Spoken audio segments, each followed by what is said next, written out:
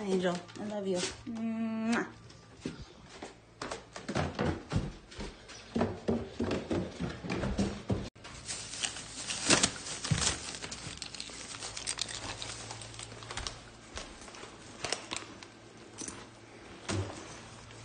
Time to go to hell.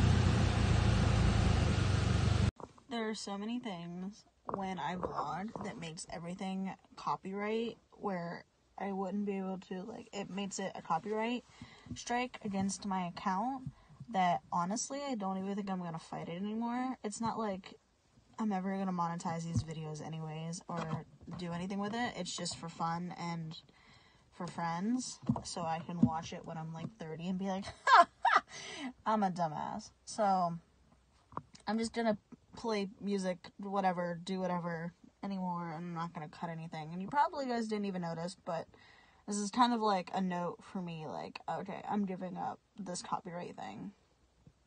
And I'm just gonna do whatever.